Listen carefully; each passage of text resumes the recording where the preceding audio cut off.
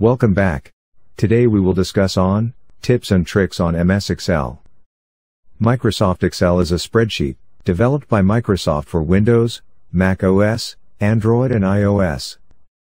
It features calculation or computation capabilities, graphing tools, pivot tables and so on. Benefits of MS Excel includes best way to store data, perform calculations, tools for data analysis, data visualization with charts, transform and clean data. Let us get started.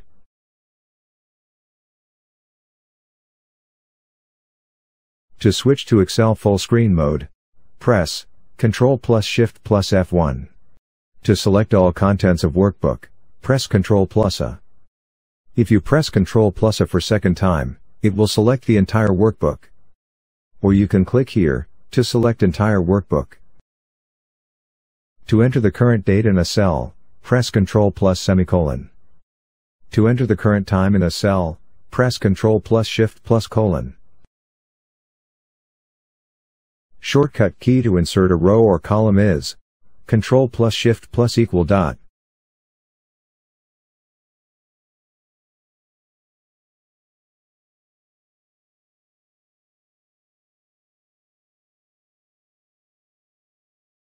To delete row or column, Ctrl plus hyphen.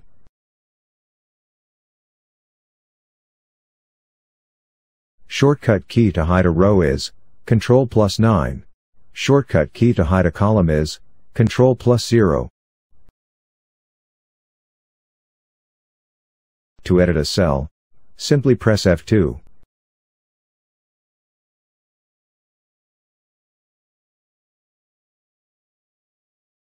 When any input value starts with 0, Excel by default deletes the 0. This problem can be easily solved by adding a single quote mark ahead of the first 0 freeze the row and column headings, so they are always viewable when you scroll around. To do so, place the cursor in the top left cell, where the actual data starts. Go to View menu and simply select Freeze Panes and Freeze Panes. Now, the heading is viewable, wherever you scroll. Interchange row and columns called as transpose the Excel data. To achieve this, first, select the range that you want to transpose. Then, you will find the Copy option on the Home tab in the Excel ribbon, or right-clicking the entire range. Next, select a new location, where you want to paste the transposed data. Click on Paste Special. Find this option by navigating to the Home tab Clipboard section Paste Paste Special. This option is also available when you right-click on the cell where you want to paste. Then, the Paste Special dialog box appears. Now, click on All and select the Transpose option on the bottom right.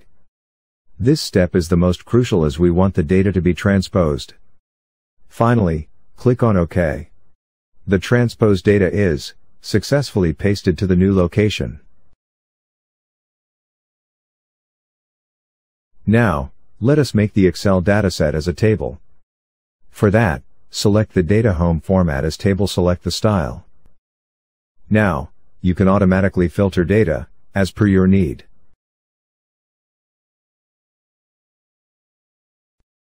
Also, we had a custom filter option available.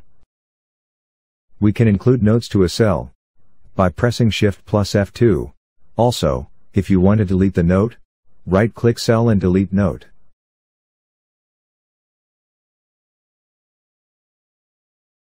Formatting of column or row can be done by right-click and Format Cells option. I am going to make this column as currency field. This option is also available in Home, Format, Format Cells.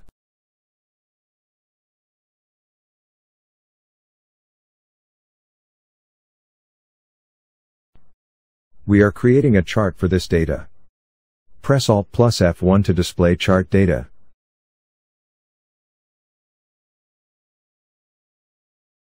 Quick analysis of data can be done using Ctrl plus Q. Format options, various charts, calculation like average, total and all. Can be done by quick analysis.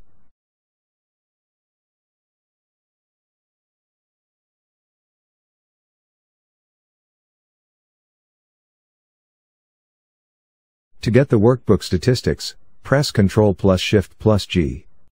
It will give details on tables, formulas, cells with data and all.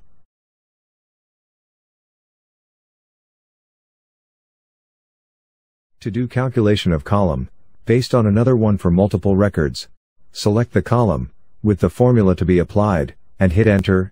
Here, calculation of allowance is 5% of salary, which is getting calculated for all records at one go. Filling a series can be done, by dragging it downwards. But if the series is too big, practically it's difficult to drag it. So we can go to option fill, series, columns, enter value for stop value. Now it's filled automatically.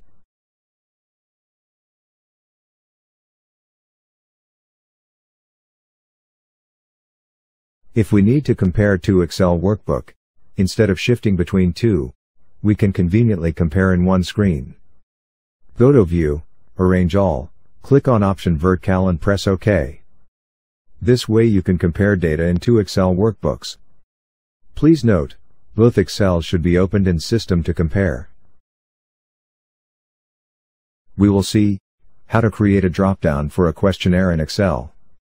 For that, we will input options in separate worksheet. Select the cell, where you need to, place the dropdown. Go to Data, Data Validation, Settings, select List, provide the source. Here, just select the value cells, and click on OK. Now, you can see dropdown is placed successfully, and can able to select the option. If it's an yes or no dropdown, it's still easy.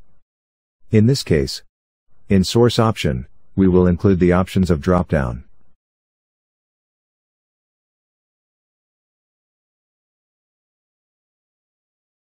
Let us check how to insert checkbox in Excel. Go to Home, right-click and click on Customize the ribbon. At the right side, select the Developer and Main tabs. Now you can see Developer menu. Now, click on Developer, Insert, Form Controls, and select Checkbox. Now, place it in the required cell. You can make alignment by right-clicking the checkbox.